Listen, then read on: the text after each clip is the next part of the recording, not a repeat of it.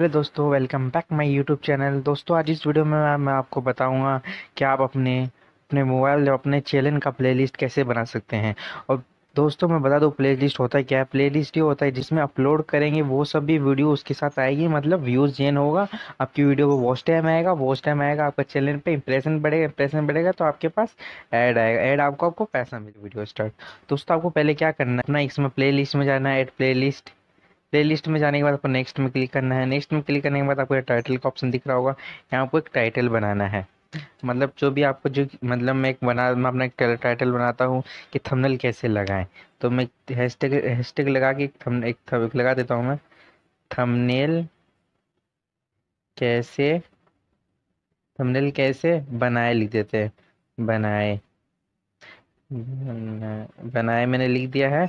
ऐसे करके आपको पब्लिक नहीं करना आपको प्राइवेट नहीं करना आपको पब्लिक में पब्लिक में करके क्रिएट में क्लिक करके आपको यहाँ, आपको एक बार आपको ऐसे करना है।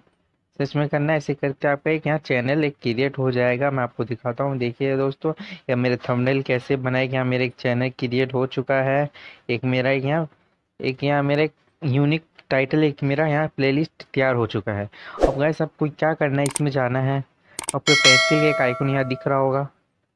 दोस्तों, वीडियो कहीं भी स्कीम मत कीजिए वीडियो को, वीडियो बहुत इंफॉर्मेशन है।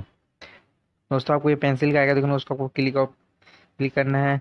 क्लिक करना आपको यहाँ टाइटल लगा देना है। आपको डिस्क्रिप्शन में जो आपको, जो भी डिस्क्रिप्शन लगाए तो मैं यहाँ लिख देता हूँ फ्रेंड्स के हाई फ्रेंड्स लिख के कॉमा लगा। जो भी आपको इसके नीचे लिखना है, आप लिख सकते हैं। तो मैं इतना ही करके पब्लिक में कोलेबोरेटली बोला है तो आप इसमें आपको कोलाबरेट कैन वीडियो आपको करना है तो कर सकते हैं, मुझे नहीं करना है तो मैं इसको नहीं करता तो आपको करना है, आप ऐसे कर सकते हैं। इसका मीनिंग क्या होता है दोस्तों?